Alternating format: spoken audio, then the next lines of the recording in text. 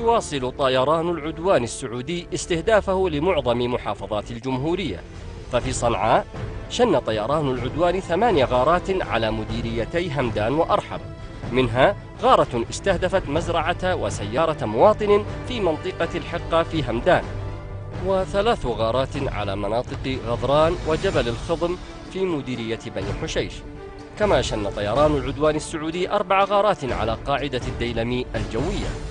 وعدة غارات استهدفت معسكر اللواء الثالث والستين في منطقة بيت دهرة في بني الحارث. وفي صعدة شن طيران العدوان 25 غارة على مناطق متفرقة من مديريات حيدان وكتاب وباغ. وعشرون غارة على منطقة مران ووادي كلية بمديرية حيدان.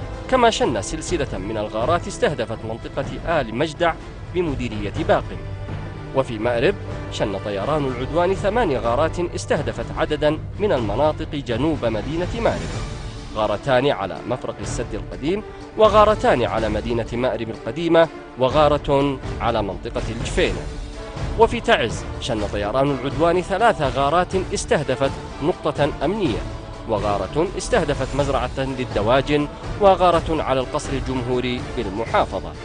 وأخيرا في حجة إصابة ثلاثة أشخاص بينهم طفلة في غارات على قرية التنباكة بمنطقة فج حرم